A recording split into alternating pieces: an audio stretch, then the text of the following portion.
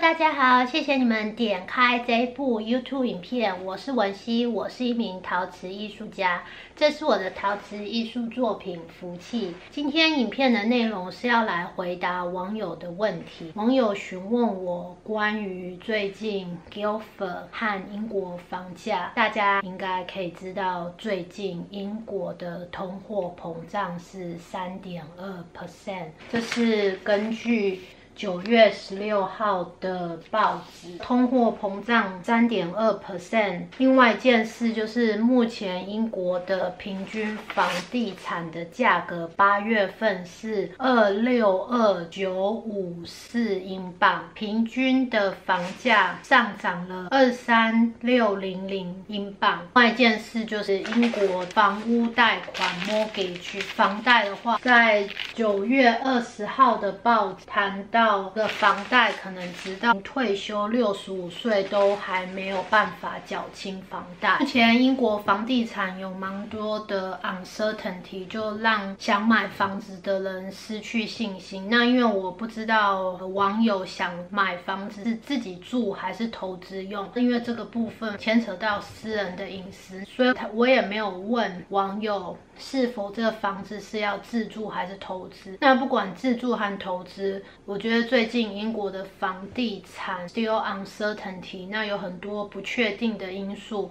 所以影响了买房子的人的信心。不确定性包含了房价会一直上涨还是会下降。如果有看其他 YouTube 影片的人，应该也知道，有些人都在预测说房地产可能会 crash，可能会崩盘吧。我本身也不是经济学家，我只是一个陶瓷艺术家。那因为网友问我问题，所以我在网络上找了一些资料。一冬天的时候，英国会不会 lock down，就是会不会再继续封城？因为首相已经说希望大家可以在家工作，所以也为房地产产生了更多的不确定性。还是网友询问到英国房地产是不是有淡季，跟所谓的比较火热。的季节，没错，英国房地产的确存在着好像有分淡季和旺季之别。那因为现在已经是九月，快接近。九月底了，那通常买房子这时候的买气就会比较低，并不代表这时候就买不到房子，只是说我想要在圣诞节之前住到新房，其实有点困难，因为只剩下不到三个月的时间。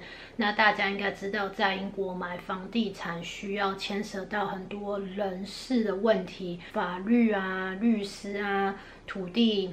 Register 就是土地产权的转移，有很多细节，那很难找到律师或是卖家可以在三个月内把手续都办好，是一个有点不可能的任务。之前我拍了几部影片，关于英国房地产如何买房。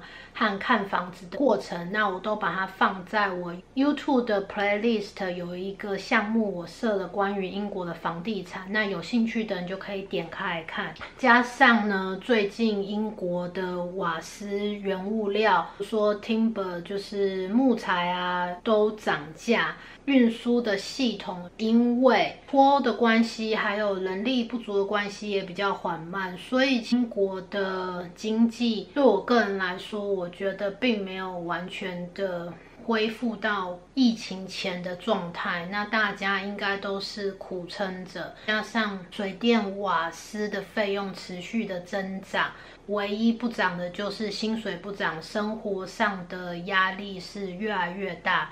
那像我前天去买了一个电灯泡，现在一个电灯泡是七点五磅，那大约台币三百块钱，所以就可以知道，光是电灯泡涨价的范围也是蛮高的。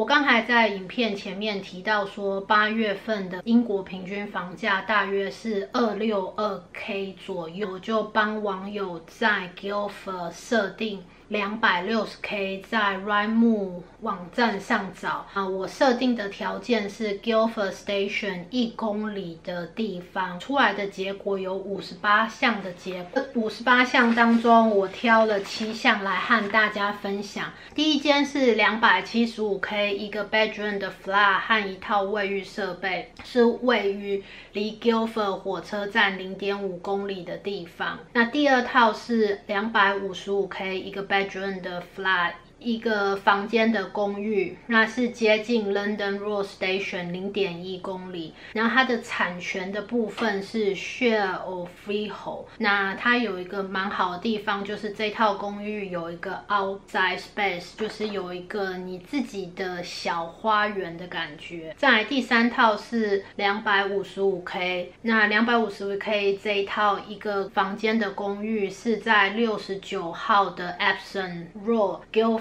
一年的管理费是一千四百三十，那是属于 top floor。关于公寓的管理费的话，如果是以投资的角度来讲，就是把公寓的管理费当成是要维修房子的一笔钱。但是我觉得，如果以投资的角度来说，公寓的管理费不是租屋者付的，是房东付的。所以，如果要买公寓的时候，要考虑说这个管理费的价格是不是超出您的预算，然后在管理费付款之后，您是否出租这套公寓有赚钱？如果没有赚钱的话，那还赔钱的话，就不适合投资这套公寓，因为毕竟做投资的人还是。比较喜欢有 cash flow 现金流嘛？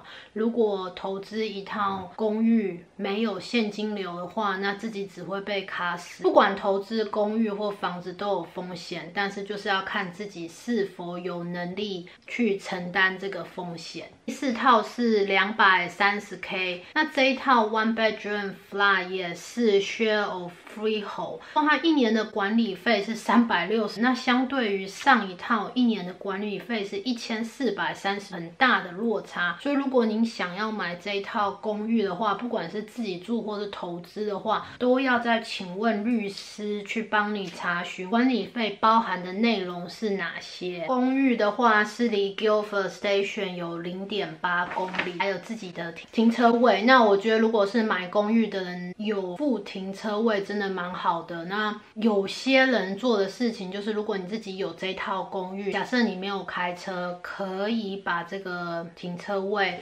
出租出去，但是这个出租的过程当中，买的时候要问律师说，如果这个公寓是属于你自己的，你的车库不用可以出租，需要打一些法律条文，还是口头上的认可，就可以把这个公寓里的停车位出租出去。也许出租停车位也是一个收入的来源，那就是提供给大家作为参考。第五间是两百一十五 K 一个 bedroom 的公寓，在 York Road。之前上一部影片谈到 Guilford，我也谈到了我我蛮喜欢 York Road 的，因为它接近 London Road Station。虽然离 Guilford 的 Central Station 比较远，但是如果您不介意走路的话，其实住在 York Road 也蛮不错的，也蛮接近 w a i t r o s 超级市场，走路十分钟就可以到。第六间是两百 K 的这一间公寓，我蛮喜欢这个区域的，但是呢，它有一个文化上的差异，就是您打开窗户看到的景色是墓地，那您可以接受您打开的窗户看到的景色是墓地吗？那这就是文化差异的问题。那有些人可以接受，有些人无法接受，那就自己。